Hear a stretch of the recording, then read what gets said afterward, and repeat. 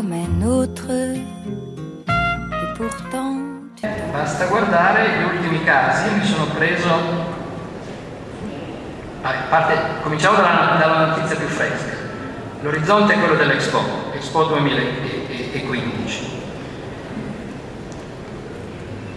La notizia ultima è quella degli incontri tra due personaggi che sono considerati in area Ndrangheta, Cosca Arena, cioè Giovanni Cinque e Francesco Franconeri, incontri con un assessore di Somma Lombardo e poi consigliere provinciale di Varese, di Forza Italia, che si chiama Massimiliano Carioni, e un altro personaggio di Forza Italia, presidente dell'ALEA, la Società delle Case Popolari di Varese, che si chiama Paolo Galli, e poi Vincenzo Giudice di Forza Italia, consigliere comunale di Milano, presidente della Zinca, che è una società mista partecipata dal comune di Milano.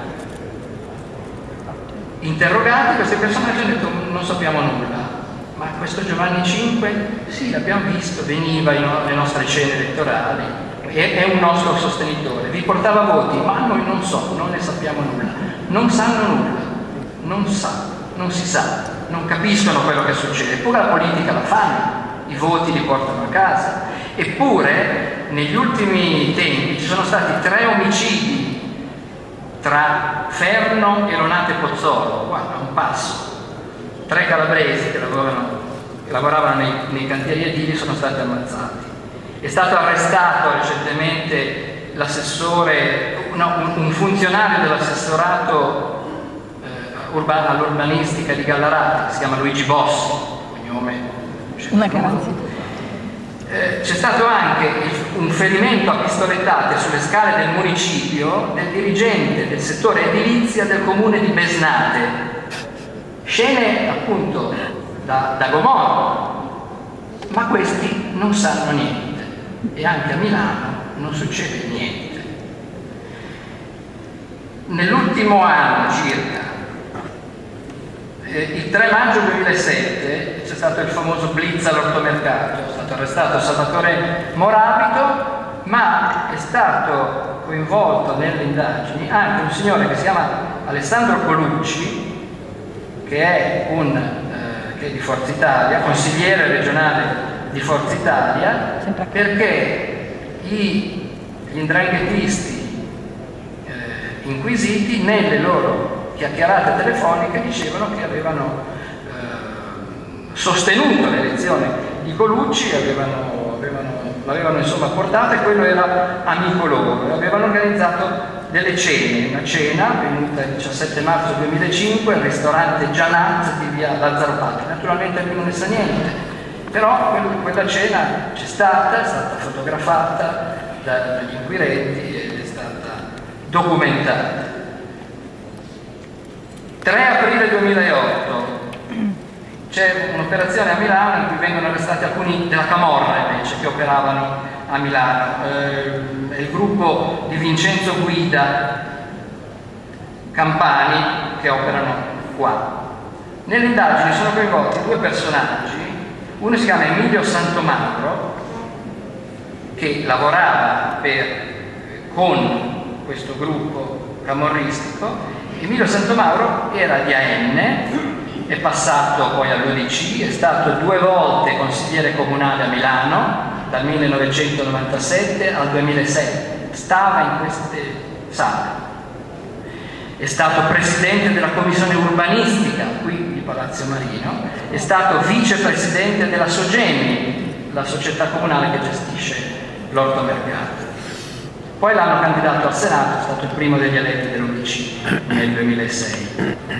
Nel 2000 aveva subito un, un misterioso attentato, era stato gambizzato e qualcuno poteva pensare che insomma, diciamo, le frequentazioni erano sue erano un po' complicate, ma invece non hanno visto niente, non hanno saputo niente e è stato candidato fino al 2006. Nella vicenda, sempre di questa famiglia di camorristi, è coinvolto anche un signore che si chiama Francesco De Luca che oggi fa il deputato. Nel 2006 è stato eletto in Forza Italia, nel 2008 è passato alla DC di Rotondi, quel signore che vediamo ai telegiornali per raccontarci ma comunque oggi è tutto PDL, il Popolo delle Libertà, ed è deputato. Bene, lui eh, è stato indagato dalla Procura di Milano per tentata corruzione in atti giudiziari, secondo le intercettazioni telefoniche, eh, secondo l'accusa, lui si è interessato per addomesticare in Cassazione alcuni processi di questi signori camorristi del clan Guida.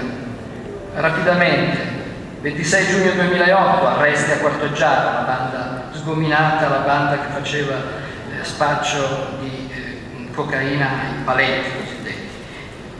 10 giugno 2008, arrestate le nuove leve del clan Papalia Barbaro. E qui è interessante perché proprio la seconda generazione, come nel Padrino 2. Ci sono no, Salvatore e Rosario Barbaro, attivi nella zona di Cucinasco, gente che ha studiato, non sono più i vecchi criminali, i vecchi patriarchi, o meglio, i patriarchi ci sono ancora e continuano l'attività, però c'è già il rincalzo di questi giovani che hanno uno stile diverso, apparentemente puliti, fanno affari, vincono appalti, hanno monopolizzato alcuni settori dell'edilizia e si presentano bene perché hanno studiato, parlano bene, non sono...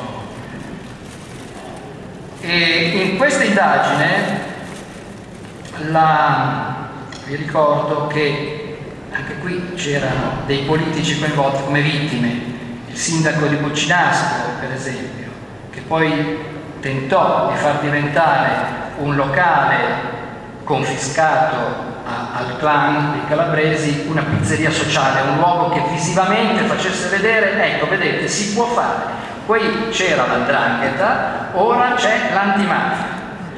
La nuova giunta di centrodestra che si è insediata alle ultime elezioni ha bloccato la cosa, questa cosa non si vedrà, la pizzeria sociale cosiddetta, cioè questo simbolo, questo segno di svolta non si farà.